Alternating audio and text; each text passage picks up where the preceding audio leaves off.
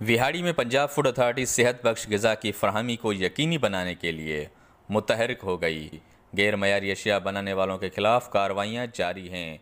Food safety team ने अचार production unit पर छापा मारा, जिस पर स्टोर में मौजूद 300 किलो मुजर सेहत अचार तलफ कर दिया गया। इस मौके पर DG food authority Rafaqat Ali Naswana का कहना था कि अचार की तैयारी में खुले रंग और गले सड़े फलों का इस्तेमाल किया जा रहा था। चेकिंग के दौरान फंगस, ज़दा और बासी सब्जियों की मौजूदगी भी पाई गई, जिस पर गैर मयारी अचार तैयार करने पर अचार प्रोडक्शन यूनिट को बीस हज़ार रुपये का जुर्माना आयद किया गया। उनका कहना था कि फ़ूड अथॉरिटी की सूबे भर में बिला तफरी कार्रवाइयाँ जारी हैं। Shafqat Ramzan global news Vehari